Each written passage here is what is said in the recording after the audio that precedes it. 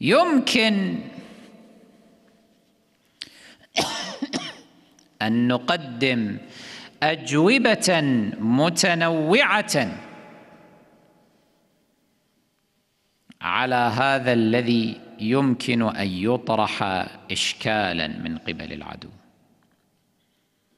نقدم جوابين رئيسيين أحدهما جواب على المذاق البكري والآخر جواب على المذاق الشيعي الإمامي.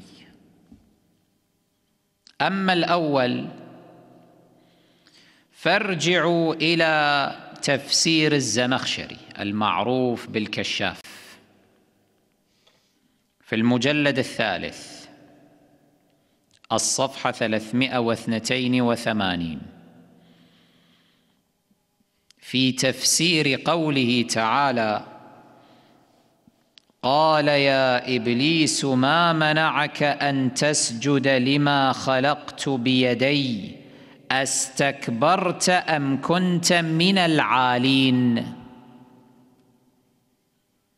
يفسر الزمخشري هذه الآية ثم يستطرد فيقول فإن قلت كيف ساغ السجود لغير الله؟ كيف ساغ هذا؟ كيف جاز أن يسجد لآدم عليه السلام؟ قلت الجواب هو هذا. الذي لا يسوغ هو السجود لغير الله على وجه العبادة. فأما على وجه التكرمة والتبجيل فلا يأباه العقل إلا أن يعلم الله فيه مفسدة فينهى عنه. اذا السجود سجودان. تارة يكون السجود بداعي وقصد العبادة.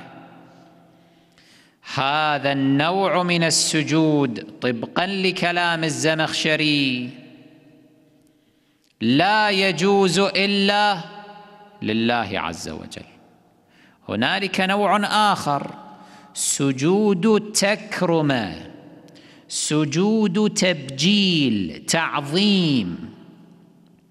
يقول هذا لا يأباه العقل. ما المانع أن يسجد أحد لأحد على وجه التكرمة والتبجيل؟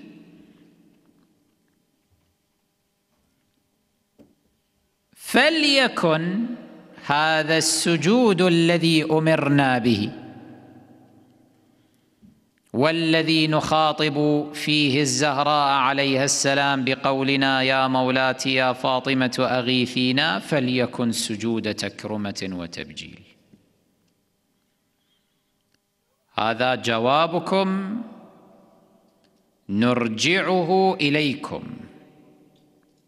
أما جوابنا وهو الجواب الأدق. هو جواب أئمتنا عليهم الصلاة والسلام. سادة الموحدين الذين علموا الناس التوحيد الحقيقي لا التوحيد الزائف المزيف الذي أوقع أهل الخلاف في الشرك في التشبيه في التجسيم. روايتان. أنقلها لكم. أنقلهما لكم. أما الأولى ففي تفسير شيخنا القمي عليه الرحمة في المجلد الأول الصفحة 356 عن يحيى بن أكثم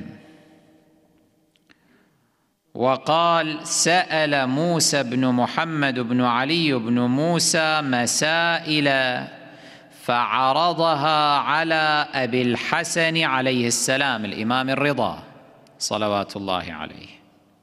فكانت إحداها أخبرني عن قول الله عز وجل ورفع أبويه على العرش وخروا له سجدا. سجد يعقوب وولده ليوسف وهم أنبياء. شلونها شلون تفسر هذه الآية الكريمة؟ كيف سجد يعقوب وبنوه ليوسف عليه السلام؟ فأجاب أبو الحسن عليه السلام أما سجود يعقوب وولده ليوسف فإنه لم يكن ليوسف وإنما كان ذلك من يعقوب وولده طاعة لله وتحية ليوسف. كما كان السجود من الملائكة لآدم. ولم يكن لآدم إنما كان ذلك منهم طاعة لله وتحية لآدم. الله أمر أمر الملائكة أن تسجد لآدم. هذا الأمر الإلهي حين تطبقه الملائكة. تمتثل له. إنما يكون إذا طاعة لله عبادة له سجودا لله. غاية ما هنالك أن هذا السجود علته التحية لآدم بأمر الله. هذه سجدة التحية. نحن حين نسجد في هذه فيما بعد هذه الصلاة التي علمنا إياها الصادق عليه السلام صلاة الاستغاثة بالبتول صلوات الله عليها إنما نسجد طاعة لله عبادة لله وتحية للصديقة الكبرى فاطمة الزهراء صلوات الله عليها.